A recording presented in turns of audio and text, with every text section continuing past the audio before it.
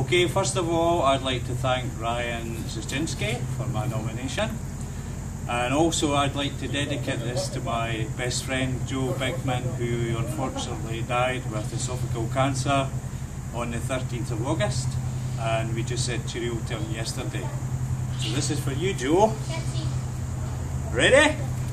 And my nominations are first of all, my brother, Christopher David Buchan, my work colleague Amy Chalmers, and California's best export redhead, Christie Smith.